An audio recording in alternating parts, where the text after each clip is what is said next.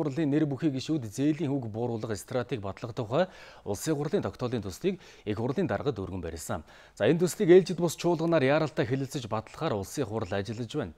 Ингэснээр 2023 оны эцэст зээлийн хүү сарын 1% хүрнэ гэж ажлын эсгийнхэн онцолж байгаа юм. Зээлийн хүүг буулгах энэ төсөлд арилжааны банкуудын санал ч гэсэн тус учраас хэрэгжиж үр дүнд хүрнэ гэж тэд үзэж байгаа юм а. Арилжааны банкны зээлийн хүү сүүлийн 30 жилийн хамгийн доод түвшинд хүрсэн. Зээлийн жигэнсэн дундаж хүү 2016 онд 20.6% байсан бол одоо 16.3%тай байна. Гэлээгээд өнөөдөр зээлийн хүү өндөр хിവэр байгаа нь иргэд бизнес эрхлэх үндэсний үйлдвэрлэгчид хөгжөхөд нэг хаалт болж байна. Үүний гол шалтгаан зээлийн хүүсүрийн зардалтай холбоотойг банкны холбооныхан хэлж байгаа юм. Зээлийн хүүг бууруулах стратеги батлах тухай улсын хурлын тогтоолын төсөлд зээлийн хүүг 2023 оны эцэст сарын 1% хүргэнэ. За үүний тулд дөрвөн гол асуудалд анхаарч ажил ажиллах юм байна. Хамгийн түрүүнд дээр дурдсан зээлийн их үүсвэрийн зардлыг бууруулах, хоёрдугаар зээлийн эрсдлийн зардал, банкны үйл ажиллагааны зардлыг бууруулах, хөрөнгийн зах зээлийг хөгжүүлэх өрсөлдөөн бий болгож санхүүжилтийн зардлыг бууруулахаар тооцоолсон байна.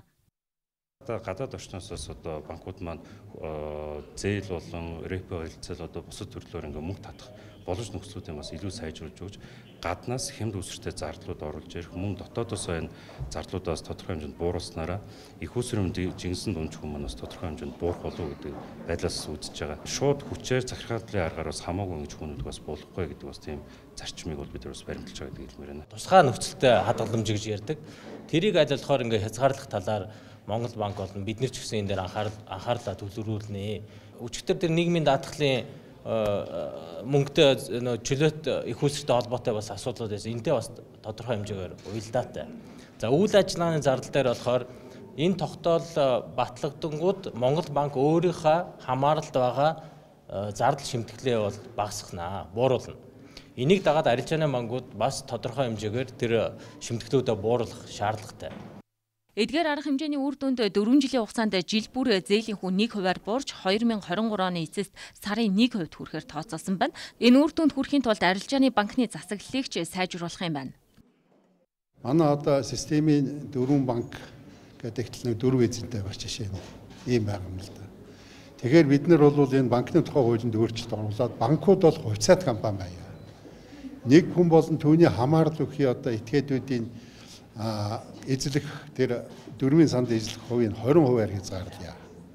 За үлдэж байгаа одоо тэр 80% нь бол хөрөнгийн биржээр дамжиж худалдая.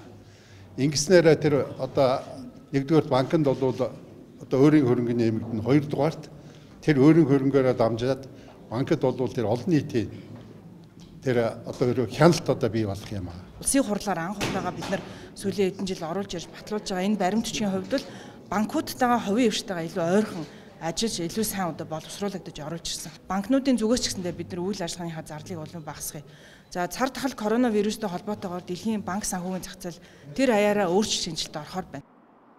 Улсын хурал зээлийн хүү бууруулах стратегийг хилэлцэн баталснаар санхүүгийн их усүр нэмэгдэж, хууль эрх зүйн орчин сайжирч, банкны эрсдэл даах чадвар, засаглал илүү оновчтой, үр ашигтай болно гэдгийг гишүүд хэлж байна. Зээлийн үг бууруулах стратегийг хэрэгжүүлэхийн тулд 6 хуульд өөрчлөлт оруулах юм байна. Гэхдээ асуудлын нөгөө тал болох их хэмжээний мөнгө эргэлдэж байдаг төрийн өмчит компаниудын ил тоод шилэн байдалд анхаарах ёстой эдийн засагчид хөндөж байгаа. Тиймээс зээлийн хүү өндөр байхад нөлөөлж байгаа суурь асуудлуудыг ч давхар шийдвэрлэх ёстой болж байна.